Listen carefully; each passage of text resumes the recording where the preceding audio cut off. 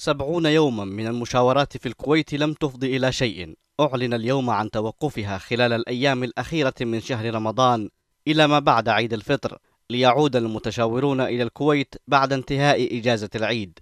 كما لو كانوا يؤدون عملا روتينيا أو يناقشون قضايا ثانوية لا تتعلق بتحديد مصائر دماء الناس وحقوقهم.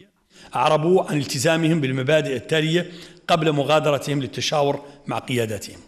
إعلان تعليق المشاورات تضمن التزام الأطراف بسبع نقاط هي استمرار وقف إطلاق النار ونقل لجنة التهدئة إلى مكان قريب من ساحة العمليات وتسهيل وصول المساعدات والإفراج عن الأسرى والمعتقلين والامتناع عن الأعمال والقرارات التي تقوض فرص نجاح المشاورات في التوصل إلى حل سياسي واحترام سرية المشاورات والوثائق المتعلقة بها.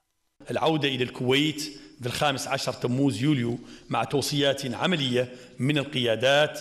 المرجعيات الثلاث التي شدد المبعوث الأممي على التزام أطراف المشاورات بها إضافة إلى النقاط السبع هي في الواقع نقاط الاختلاف الأساسية بين أطراف الحرب والحوار.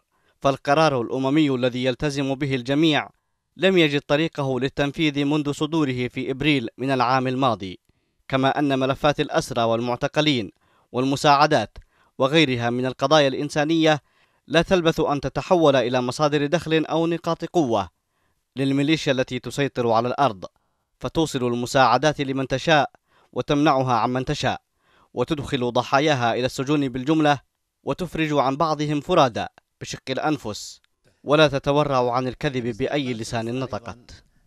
سمعنا مؤخرا أن اللقاء المشترك وهو أحد مكونات حكومة هادي آه، تحدث عن تشكيل لجنة تحقيق فيما يخص إطلاق آه، إطلاق الأسرى مؤخرا السبعة المئة ما موقف الأمم المتحدة من تشكيل هذه اللجنة؟ خاصة وأن الأمم المتحدة تعتبر إطلاق الأسرى إنجاز يحسب لها.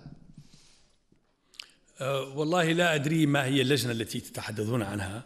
تعليق المشاورات يراه البعض إعلانا مهذبا لفشلها. وسواء تمكن المتشاورون من العودة في الوقت المحدد أم لم يتمكنوا من ذلك فإن الوقائع على الأرض تقول أن الميليشيا لا ترى في المشاورات سوى فرصة ذهبية لإعادة التموضع على الأرض.